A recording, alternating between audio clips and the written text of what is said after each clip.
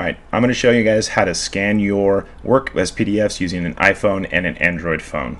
Okay, let's start with the iPhone. You're going to use the Notes app. Start a new note, bottom right hand corner.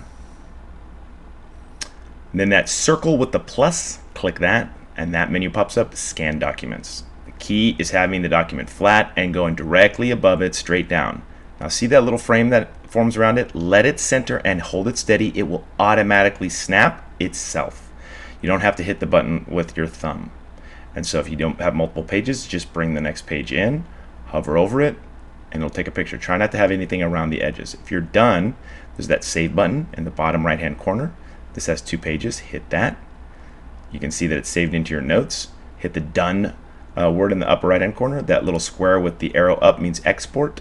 You have to have Schoology already downloaded on your phone. When you hit the export button, find the Schoology app, says copy to Schoology. Then give it a second, it'll open up your account. It's going to give you two options submit to assignment, add to resources. You're going to hit submit to assignment, select the class, select the assignment, upload. Done.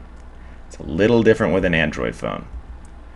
With an Android phone, you have to have the Google Drive app already downloaded onto your phone. Free app. Everybody should have it. Now I have to, once you open it up, select the uh, folder that you want it to go into. If you don't select any, it'll just go into the My Drive folder. There's a plus button in the bottom right hand. When you select uh, that menu pops up, hit scan. It's a little camera picture. Uh, take a this one you actually have to push the button. So when you snap it, okay, and the upper right hand corner you see those three dots. You can rename it or delete the page, rotate the page, whatever you want.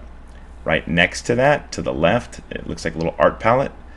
Click that. You want it black and white, so it ends up being a PDF. To the left of that, that's the crop feature if you need to move in the edges a little bit because you didn't center it very well. Hit the check button when you're done cropping. Hit the check button again. It's going to scan it as a PDF directly into the folder that you uh, saved it in. And that's it.